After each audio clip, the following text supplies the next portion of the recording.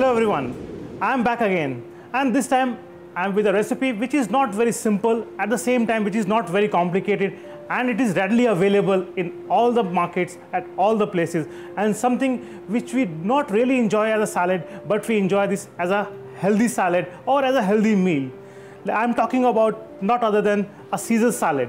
Let's begin the Caesar salad uh, in a jar so to start with, I have got a dressing which I have prepared with some mayonnaise, some crushed pepper, salt, and a dash of lemon juice or an optional can be a vinegar.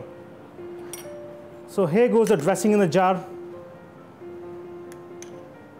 Followed by dressing, I will add my tandoor roasted chicken tikka, which is my twist to this Caesar salad. Then I will add some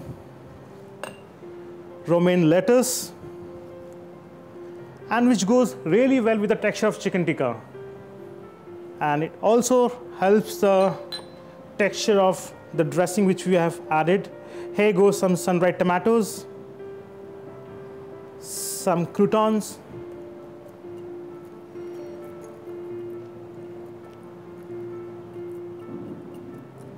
I will add another two to three pieces of more chicken tikka salad just to add some more textures in between the layers.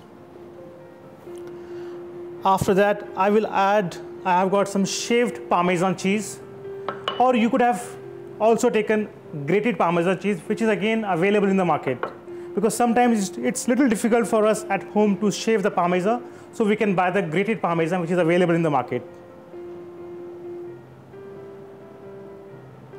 Just to finish the salad, I will add some crushed peppercorn and here my jar chicken tikka Caesar salad is ready. And you can store this Caesar salad like other salads overnight and you can carry this salad in the morning for your early lunch or you can enjoy with your main lunch.